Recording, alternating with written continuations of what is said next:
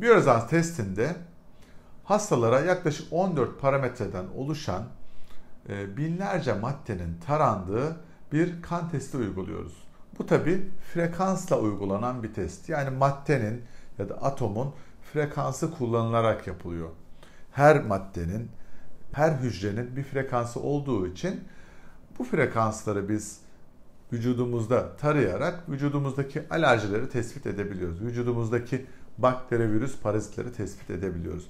Aynı şekilde kanser hücreleri de bizim için zararlı hücreler olduğu için kanser hücrelerinin frekansları da kanımızdan ve vücudumuzdan tespit edilebilir.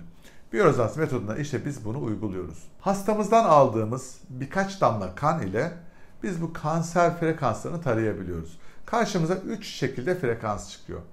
Bir tanesi prekürsör, bir tanesi kanser ve son olarak da metastaz. Bu bizim uyguladığımız testin ana parametreleri. Eğer bu üçü negatifse zaten bu kişide kanserle ilişkili bir frekans yok demektir.